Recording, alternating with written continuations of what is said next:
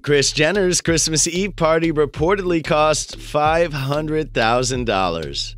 The 63 year old reality star staged her annual December 24 bash at the Hidden Hills home of her daughter Kim Kardashian West and son in law Kanye West and spared no expense in making sure the family's 200 guests had a great time. And insiders insist the celebration, which will be seen on Keeping Up with the Kardashians, is worth every penny. The source explained the party needs to be eye popping because it sets the tone for their empire.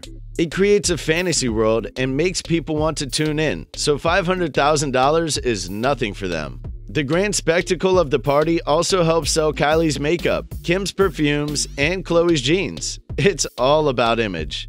And despite the huge price tag, Kris reportedly bagged herself a bargain as party planner Mindy Weiss offered her a discount because they have worked together for so long.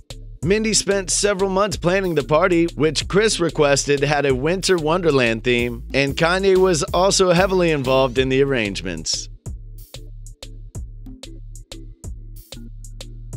We're betting you loved that video. Wasn't it great? Well, like and subscribe to get even more.